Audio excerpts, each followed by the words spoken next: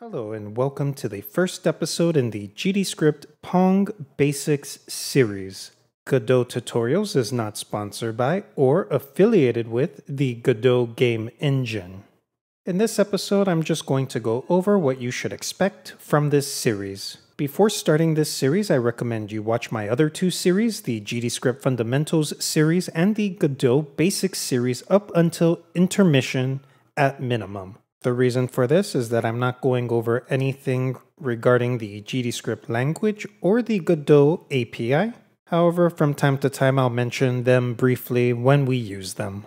Now, what exactly is Pong? Well, Pong is a mini table tennis arcade video game released in 1972 featuring simple graphics. Pong was created by a person named Allan Alcorn for the then unknown company called Atari. Originally, Pong started out as a training exercise for Allan before Atari realized its potential. In this series, I will be focusing on creating an MVP or minimum viable product of the Pong game. In this series, I will deconstruct the Pong game, write out tasks to accomplish, and lastly, code the tasks out.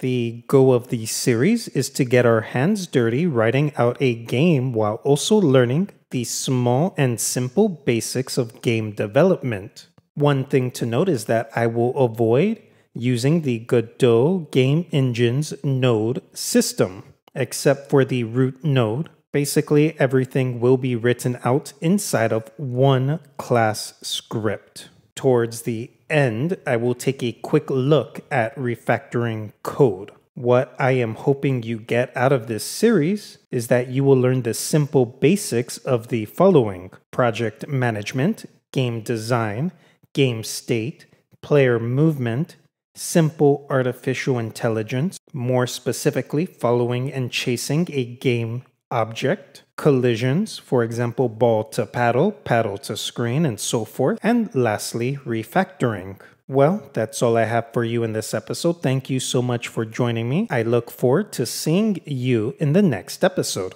Have an amazing day.